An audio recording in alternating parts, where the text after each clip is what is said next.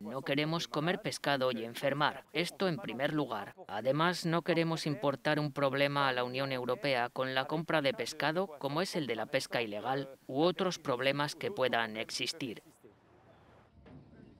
Le poisson, c'est une ressource renouvelable si bien géré.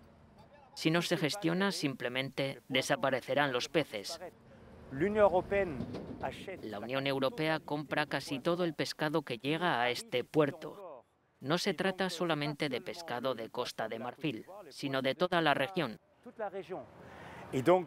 Por lo que supone, diría yo, entre 40.000 y 50.000 empleos directos y cerca de medio millón en empleos indirectos.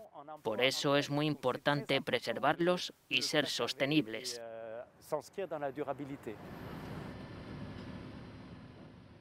Costa de Marfil gana porque el 91% del pescado se exporta a Europa. No se trata solamente de la exportación ni de las ventas, se trata sobre todo de la creación de puestos de trabajo. Es una cadena de valor que está en marcha, lo que es importante para Costa de Marfil. Pero la Unión Europea también gana porque importamos un pescado que, digamos, es limpio. Es decir, que no es el resultado de una pesca con métodos que diezmen las especies.